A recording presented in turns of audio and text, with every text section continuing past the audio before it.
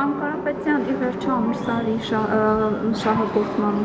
ակցիայի մասնակիցների հետ հանդիպեցիք, ինչ քննարկեցիք, ինչ արդյունքներ ունեք եւ ինչու եք հենց դուք նրանց հետ։ Մենք parberabar մի խումբ падգամավորներով, ում հետաքրքրում է այդ հարցը, հանդիպում ենք եւ կառավարության հետ հասկանալու համար գործողությունները եւ ընթացքը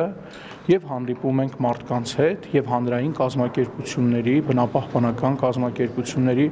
եւ համայնքների բնակիչների հետ ջերմուկ գնդեվազ, որպեսզի նույնպես հասկանանք իրենց մոտիվացիան, իրենց գործողությունները։ Մենք տեսնում ենք, որ հաղորդակցության որոշակի խնդիրներ կան եւ պետք է մարդիկ իրար ավելի շատ լսեն եւ ավելի լավ հասկանան դիրքորոշումները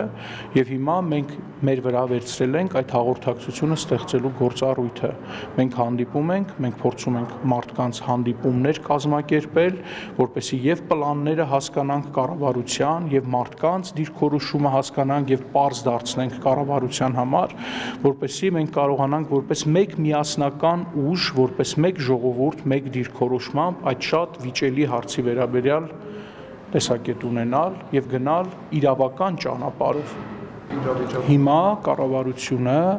գնում է իրավական ճանապարհով։ Դուք լսել եք բազմիցս եւ վարչապետի հայտարարությունները եւ այլ պատկան մարմինների եւ հիմա գործընթաց կա եւ այդ գործընթացը պետք է թողենք գնա առաջ, որպեսզի մենք հասկանանք իրավական լուծումները այդ հարցի որոնք են։ Այս պահի դրությամբ գործընթաց կա, որը կառավարության դաշտում է եւ այդ բոլոր հարցերի պատասխաններն ավելի շատ կառավարությունը կտա։